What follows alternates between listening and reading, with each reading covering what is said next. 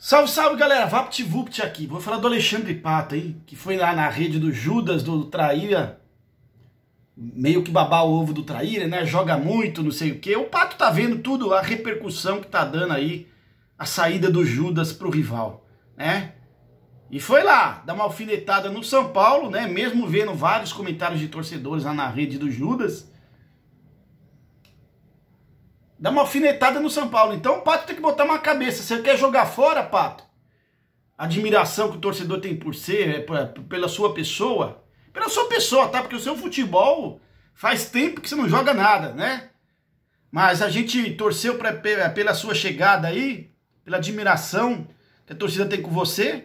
Agora você tem que botar na, na balança aí. Você quer jogar fora a admiração que o torcedor tem com você, Pato? Você quer jogar fora?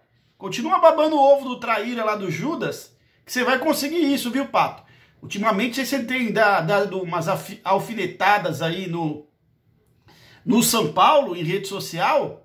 Você deve estar tá aí magoado, né, pela sua saída, sua não continuidade do São Paulo. Só que seria mais esperto da sua parte aí, se você está alfinetado com alguma pessoa do São Paulo, cita a pessoa. Né? Seja aí treinador, ou outra pessoa do São Paulo que você esteja aí chateado, cita a pessoa.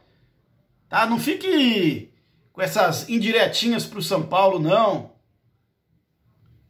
Você sabe que a torcida tá puta com Judas, com traíra, e você vai escrever um negócio desse aí para dar uma alfinetada no São Paulo?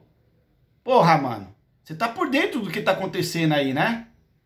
Então, Pato, se eu fosse você, eu não jogaria fora a admiração que o torcedor tem por você, não, tá?